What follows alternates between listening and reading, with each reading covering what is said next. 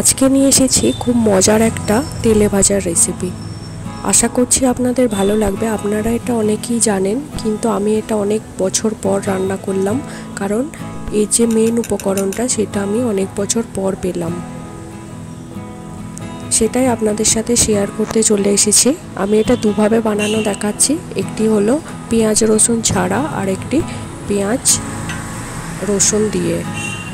আশা করছি আপনাদের ভালো লাগবে। যদি রেসিপিটি ভালো লেগে থাকে, ছেড়ে যাবার আগে লাইক কমেন্ট শেয়ার করবেন।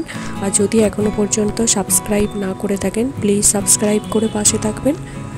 চলুন রেসিপিটি দেখে নেওয়া যাক। দেখুন, অনেক বছর পর আমি পেয়ে গেছি সজিনার ফুল। পাতা শুদ্ধই অবশ্য, কারণ এখানে ফুল আলাদা করে বিক্রি হয় না। এবার আমি এখানে একটি বাটির মধ্যে বেসন চালের গুঁড়ো, মৌরি গুঁড়ো, হলুদ গুঁড়ো আর কাশ্মীরি লঙ্কা গুঁড়ো নিয়েছি। যদি তিন চামচ বেসন দেওয়া হয়, তাহলে এক চামচ চালের গুঁড়ো নিতে হবে। তাহলে তেলে ভাজাটা মচমচে হবে। এরপর এর মধ্যে আমি খুব অল্প হিং দিয়ে নিয়েছি আর দিয়েছি একটা কাঁচা লঙ্কা কুচি। এরপর এর মধ্যে দিয়ে দেব পরিমাণ মতো লবণ। আর দিয়ে দেব কয়েক চিমটা চিনি। চিনির জায়গায় আপনারা গুড়টাও ব্যবহার করতে পারেন। এটা তেলে ভাজার একটা আলাদা স্বাদ আনে। এবার দেখুন আমি এর মধ্যে সজিনার ফুলগুলো দিয়ে দেব। আমার কাছে বেশ অনেকটা পরিমাণে আছে, যদিও ফুলটা পুরোপুরি ফোটেনি, অনেকটাই কুড়ি আছে, তো আমার কাছে এইটাই অনেক অমূল্য, তাই কোনো কিছুই ফেলা যাবে না। বা নষ্ট করা যাবে না।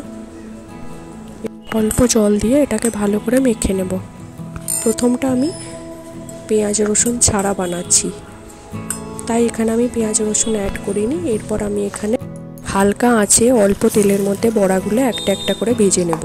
এবার আমি এখানে পেঁয়াজ, রসুন দিয়ে কীভাবে বানিয়েছি সেটা দেখাবো। আগে যেমন মেখেছি, সেই একইভাবে মেখে শুধুমাত্র পেঁয়াজ আর রসুনটা এখানে অ্যাড করব। পেঁয়াজ কুচি আর রসুনটাকে একটু থেঁতো করে নিয়েছি, নিয়ে ভালো করে সেই মশলাটার মধ্যে মিশিয়ে একইভাবে অল্প তেলের মধ্যে অল্প আঁচে একটা একটা করে ভেজে নেব। অল্প আঁচে এই জন্যই ভাজতে বলছি, নয়তো ভিতরটা কাঁচা কাঁচা থাকবে, খুব একটা খেতে ভালো লাগবে না। বড়া ভেজেই যদি সঙ্গে সঙ্গে পরিবেশন করা হয়, তাহলে আপনারা টিস্যুর মধ্যে রাখবেন, এক্সট্রা যে তেলটা থাকে সেটা টিস্যুটা টেনে নেবে। আর না হলে না রাখাই ভালো, তাহলে মুচমুচে ভাবটা থাকবে না। আশা করছি ভিডিওটি ভালো লেগেছে। আপনারা কীভাবে বানান অবশ্যই জানাবেন। ধন্যবাদ।